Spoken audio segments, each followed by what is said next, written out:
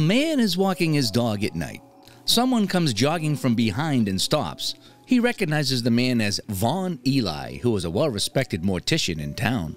They chat for a while about Eli losing his wife, Rosemary, and coping with the loss, when all of a sudden, Eli takes his gun out and demands him to move his van. He asks him what is this about, and Eli responds that he's sure he knows what it is about. They reach a cemetery where Eli makes him dig Rosemary's grave at gunpoint. He then orders him to open the coffin. The coffin is empty, and before the man could respond, Eli hits him and he falls into it. He begs to be let out, but Eli throws a light at him and closes the coffin. The scene then cuts to two years later. At a high school, students are discussing the telltale heart with their English teacher, Sylvia. After school is over, we see four friends Travis, Danny, Brian, and Abby talking to each other. Travis has lost his sister and thinks he saw something supernatural that day. Brian makes fun of this, upsetting everyone. While going back home, Mr. Sovic, their PE teacher, stops Travis, trying to convince him to join track tryouts, but Travis is uninterested. Danny drops Travis at Eli's place where Travis mows his lawn as a part time job. After finishing, Travis tells him that he is done, but Eli isn't happy with his work and instructs him to redo it.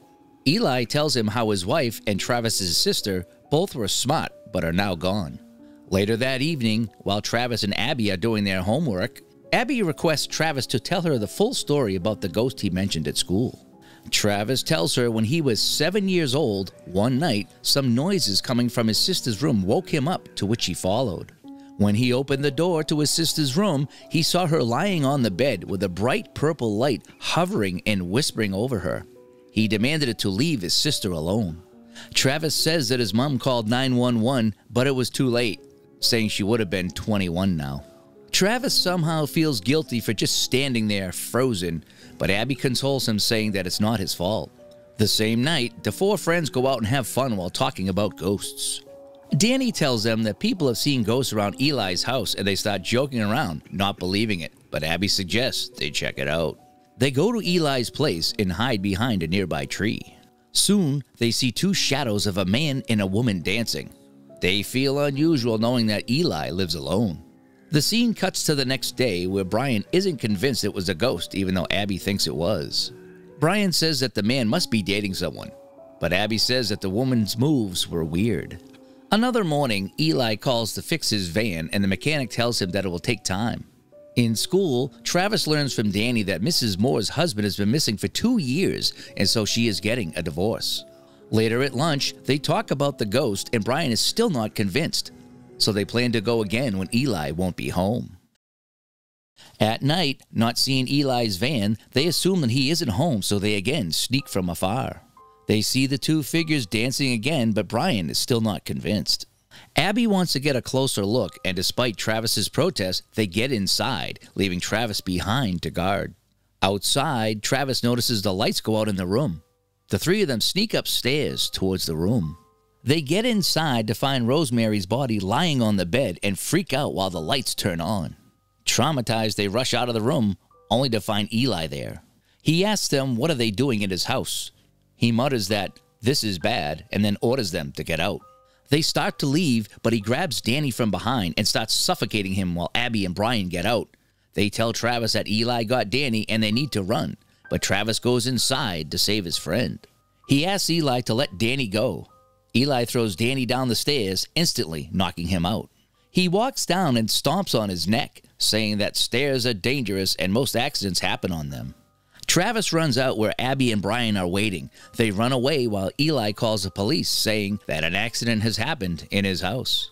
Next, we see the three friends in custody, but the police don't believe them. Instead, they get arrested for trespassing. The sheriff tells them that they searched the house and didn't find the body that they claimed Eli had.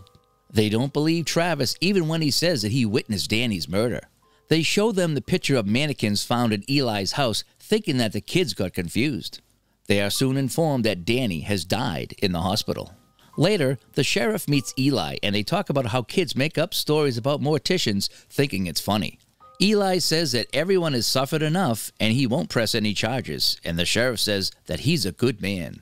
Then Eli goes to the attic and talks to his wife's body, telling her that she needs to stay there for a few more days. Travis's mom tries to console him, saying that she believes him and asks him to promise to never go near that house because she's afraid of what that man might do to him. A few days pass while Travis and Abby grow restless to get Eli punished. They decide to go back into the house to take evidence of Rosemary's body. They get to the house and sneak up on Eli dancing with his wife. Abby tells Travis that her parents wouldn't let her go with him after the incident, so she told them she is going to Sarah's house and she has left her phone with her so that she could lie to her parents that Abby is at a slumber party if they call. Soon, they see the van leave and begin to trespass again. Abby stumbles upon a tarp. Travis removes it to see an empty human sized box. They don't think much of it and continue moving. Travis goes in, breaking the window. He creeps to the bedroom and takes the picture, only to find the bed empty. Outside, as Abby is guarding the door, Eli creeps up behind her and knocks her out.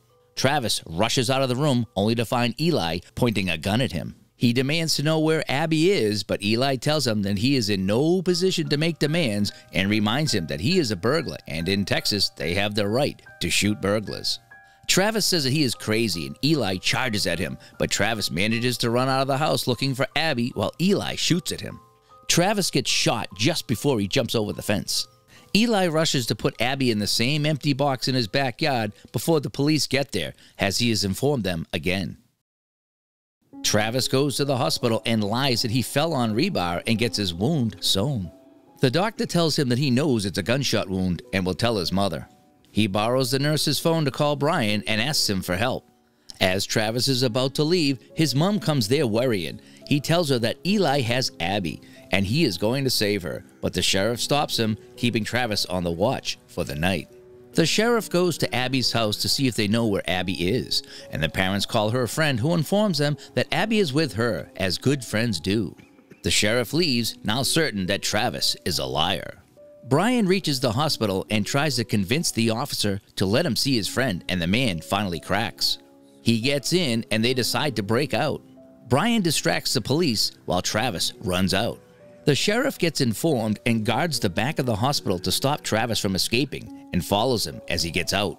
But it turns out to be Brian and they take him in. Travis reaches the house. He opens the box in the backyard only to find it empty.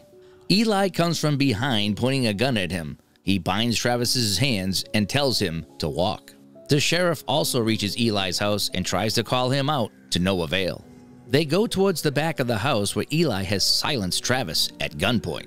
They assume that Travis must have gone somewhere else. Eli puts Travis in his van with Abby and Rosemary and begins driving. Travis suggests Abby chew the tape on her hands.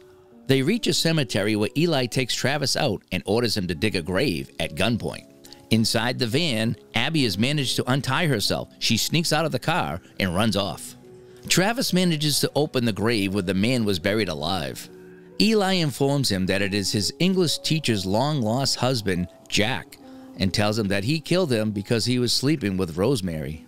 He adds that he had to punish Rosemary as well, but she begged for forgiveness, so he promised her to let her stay at home. And they were doing fine until Travis came along, snooping around.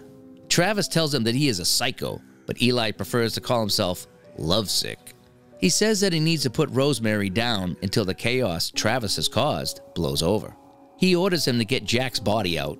When he does, Eli points at Travis to shoot, but he begins to mock him, saying that Rosemary would hate it if he put her in the dirt, enraging Eli, who screams at him to shut up.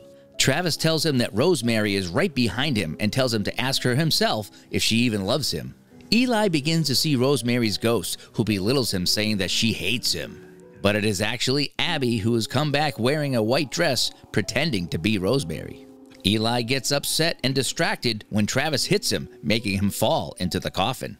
They shut the lid, but he gets out, strangling Travis. He asks Rosemary to help, but Abby hits him with the shovel and they shut the coffin again. They bury him and leave. The next day, at the police station, the sheriff informs the two and their parents that Eli was in the grave for two hours and says that they did the right thing to tell the police.